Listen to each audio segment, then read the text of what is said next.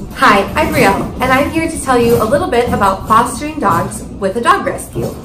I am currently with a rescue called Wolfgang Rescue. It's based in the state that I live in, which is Wisconsin. I currently have three foster dogs as well as my own dog. I have a two-year-old lab mix, and she has her two puppies that you see here. Um, I have Ruffalo, and I have Davidson here. So all three are up for adoption.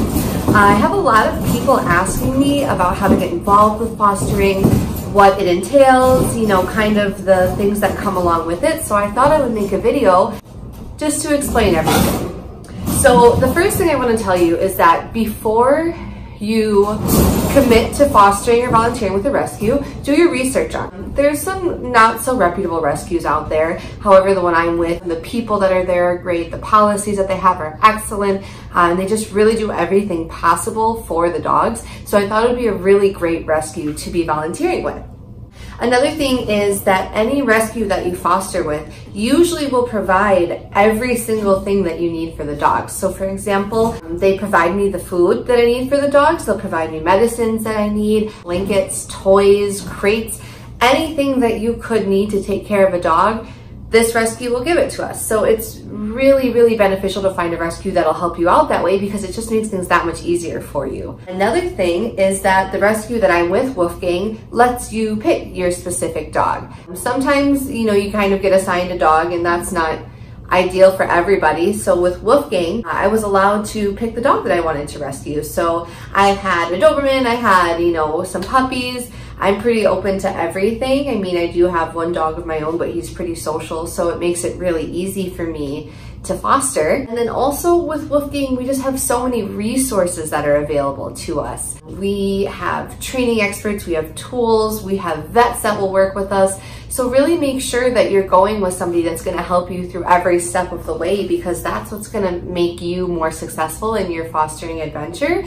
And it's just gonna make you wanna keep coming back and helping out even more and saving even more lives. The last thing I wanted to talk about is how rewarding it is. I mean, seeing these dogs come in scared and dirty and gross really can be heartbreaking, but just to kind of mend them back into the dog that they should be and see them blossom into their personalities is really awesome. You do get a little bit attached to some of the dogs, of course, you know, it can be hard to let them go, but at the end of the day, every time you adopt a dog out, you get to save another life. So that's what keeps me going. So when it comes to fostering dogs, I know that like puppies seem the most fun and that's what everybody wants, but just a couple things that you might not think about. This litter was a litter of eight, so it can be a lot of poop, a lot of pee in the house. Um, eight puppies was pretty time consuming to take care of, but it was still worth it. I would say I would definitely do it again. Um, so this one here, Wiggle Worm, is Ruffalo. She is 14 weeks old. She's a pit bull mix and she's currently up for adoption. Uh, as you can see, she's super friendly. She loves love. And this guy here is Davidson and I see my own dog Rambo coming around. Things that will help you be successful in your fostering adventure is kind of doing some research on dog behavior beforehand. With puppies, it's not such a huge deal, but some dogs, you know, come with some issues maybe, or just, you know, some things that might need a little work. So the more research that you do on dog training and dog behavior, the better.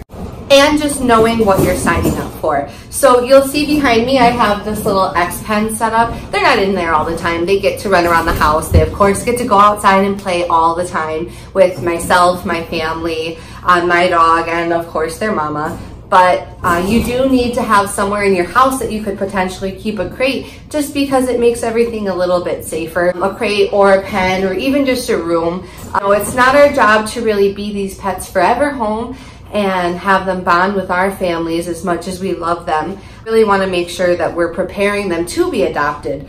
So crate training a dog makes a dog more adoptable um, and also just fixing any things that they might have. For example, their mom She did not come to me crate trained and she could be fairly destructive when left alone. So we definitely um, worked on some crate training with her.